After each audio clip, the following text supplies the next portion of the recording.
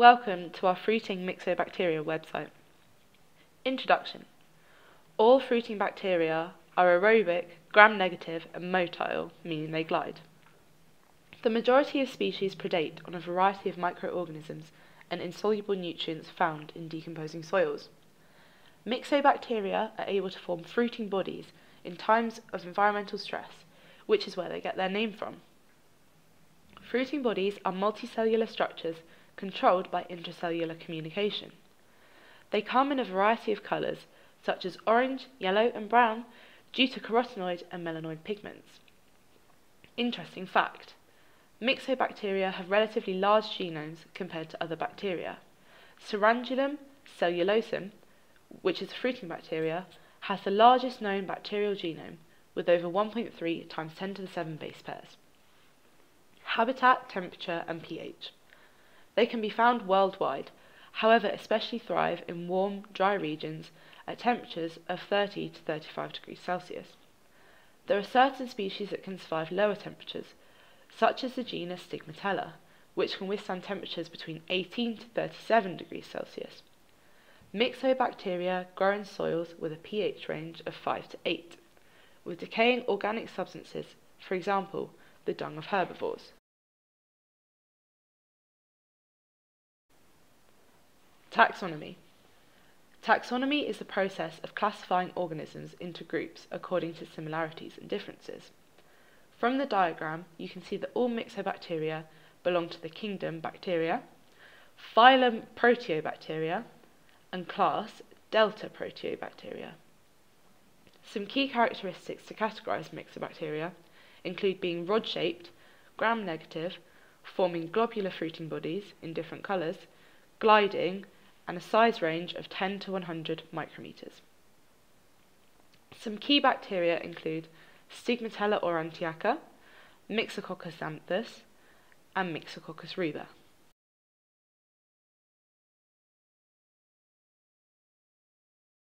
Fruiting bodies. When nutrients are in low supply, myxobacteria form fruiting bodies. This process is controlled by intracellular communication. The fruiting body is formed by the transformation of vegetative cells to form the stalk and head of the body.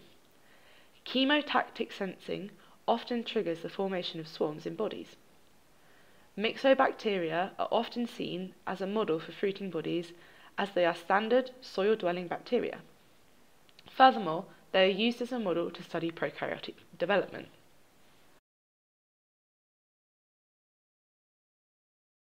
The aggregation process when forming the fruiting body allows all cells to survive.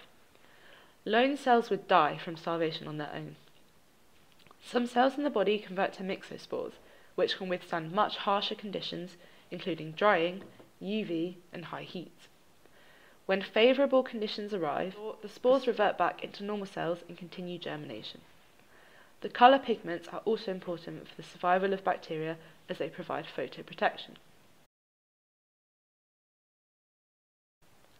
Myxospores. Within the fruiting body, some vegetative cells convert to dormant spores called myxospores. This occurs when resources are scarce, but can be reversed when more nutrients become available. Each myxospore forms from the differentiation of an individual vegetative cell. These cells in turn entirely convert to the final spore product. This is one of the main differences between other spore forming bacteria and myxobacteria. Myxospores have been claimed to survive temperatures of up to 100 degrees Celsius for up to one minute and 70 degrees Celsius for up to 30 minutes. However, the regular fruiting cells died at 50 degrees Celsius. The spores can also survive desiccation for four weeks, and some could even germinate into normal cells again. These cells are also five times more resistant to UV light and 20 times more resistant to sonic vibration. Swarm feeding.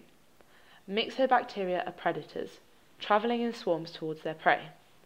A swarm is where thousands of cells come together in a collective motion, producing colonies which can spread over a surface. As myxobacteria do not have flagella, they have to glide using fibrils or pili through a process of social motility. This swarming is triggered by the absence of nutrients, as forming a multicellular structure benefits individual cells as the increased surface area allows more access to nutrients. For predation to occur, the cells must be in close range to the prey cells. The swarm releases hydrolytic enzymes and secretes secondary metabolites that allows the process of prey cell lysis to occur.